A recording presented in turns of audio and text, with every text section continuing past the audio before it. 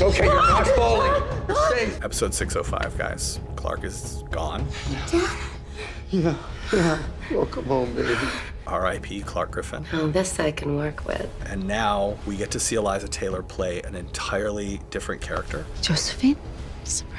It's Josephine's story. The story is told from her point of view. They don't know what we are, Josie. And for now, we have to keep it that way. It is the gospel of Josephine, and now we get to see her trying to come to terms, Josephine that is, with the fact that she is in the body of a person who wasn't willing and who has a bunch of friends that are potentially dangerous and certainly will not react well to the fact that they've lost one of their own. If they find out we killed Clarke, they will burn this world down, just like their last one.